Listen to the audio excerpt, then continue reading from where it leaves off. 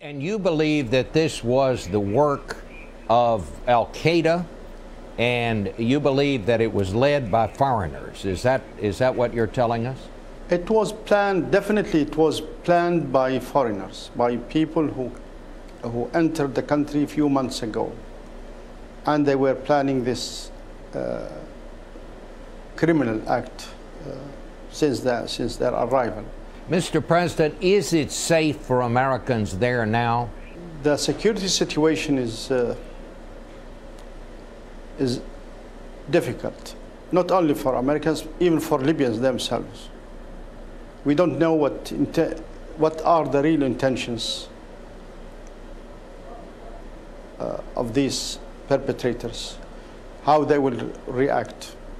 So, but there is no specific particular concern for or, uh, danger for Americans or uh, any other uh, foreigners. But uh, situation is not easy. Mr. President, to keep uh, stability. Yes. Uh, will it yes, be sir. safe for the FBI investigators from the United States to come in, or are you advising them to stay away for a while? Maybe it is better for them to stay for, for a little while, for a little while, but uh, until we, we, we, we, we do what we, we have to do ourselves. But uh, again, we'll be in need for, for their presence to help in uh, with further investigation. And uh, I mean, any hasty action will be, I think, is not welcomed.